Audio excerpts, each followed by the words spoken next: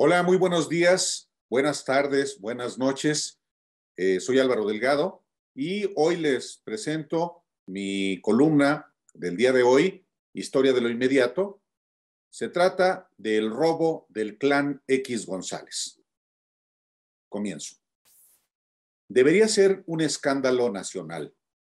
La empresa Kimberly Clark de México propiedad de la familia del prominente líder empresarial Claudio X González Laporte, y cuyo hijo del mismo nombre jefatura la coalición opositora Va por México, cometió un inaudito robo. Sí, robo de miles de millones de pesos a la población más vulnerable del país. A los Claudio X les encantaría que se hable solo de la falsa torre chueca del nuevo aeropuerto, del horrible apellido López y del populismo. Pero debe informarse también que la conspiración, sí, conspiración de su empresa familiar consistió en reunir a otros fabricantes de pañales desechables para bebés, para la incontinencia de adultos mayores y de toallas sanitarias femeninas para comprometerlas a manipular los precios y encarecer esos productos. ¿A quién se le puede ocurrir atentar contra la población más vulnerable de niños, ancianos y mujeres? Sí, niños, ancianos y mujeres tramando en secreto y violando la ley el alza en los precios de estos productos? Al clan de los Claudio X, como ya dictaminó la autoridad. Y es que entre 2008 y 2014, en los gobiernos de Felipe Calderón y Enrique Peña Nieto, que tanto adoraban, la empresa Kimberly Clark de México, cuyo presidente del Consejo de Administración es González Laporte y que dirige su hijo Pablo Roberto, pactó el encarecimiento de los productos de este sector con otras dos empresas, Productos Internacionales MAVE y Easy Higiene y Salud México. En el expediente de la Comisión Federal de Competencia Económica se acreditó con vasta información que la empresa familiar de Claudio X González Guajardo, el fundador y primer presidente de la Asociación Civil Mexicanos contra la Corrupción y la Impunidad, corrompió el mercado y robó a los consumidores para obtener ganancias multimillonarias en esos seis años.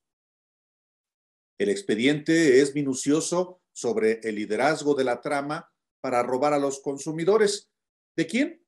De Pablo Roberto González Guajardo, hijo de Claudio X, padre y hermano del creador de la coalición del PRIAN, que dice luchar contra la corrupción el plan de encarecer los productos, los precios de estos productos básicos para niños, mujeres y adultos mayores, no fue porque la empresa de los Claudio X estuviese en crisis. De hecho, como se acredita en el reportaje de Daniela Barragán en el diario digital, sin embargo, sus marcas como Huggies, Clean Bebé, Pull-Ups, Cotex y Depend eran las de mayor circulación en el mercado mexicano.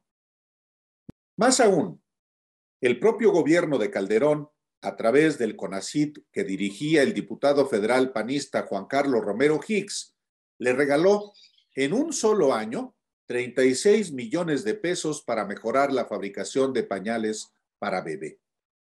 Se trataba en realidad de obtener mayores ganancias manipulando el mercado con las otras dos empresas, como se acreditó en la investigación de la COFESE, donde quedó claro también que el autor intelectual del robo, sí, robo, fue Kimberly Clark de México, que además de convocar a las reuniones secretas, dictaba el aumento de los precios de los productos.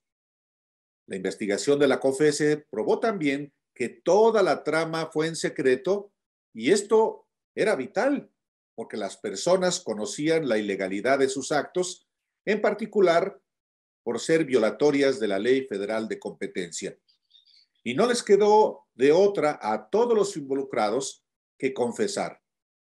aceptamos la totalidad de los hechos y evidencias que se nos atribuye.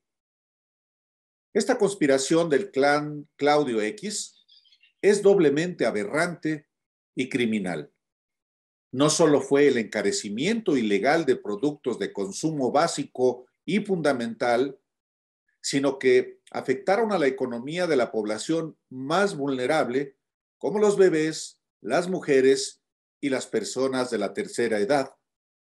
Sí, se multó con 100 millones 935 mil pesos a la empresa Kimberly Clark de México y con 2 millones 18 mil pesos a González Guajardo. Pero lo más relevante es que exhibe esta conducta el carácter mafioso y depredador del clan Claudio X. En México y en el mundo, a los que roban se les llama ladrones y a los que corrompen y se corrompen se les dice corruptos. Ni modo de llamar honestos a los Claudio X. ¿Quién puede creer ya esta patraña?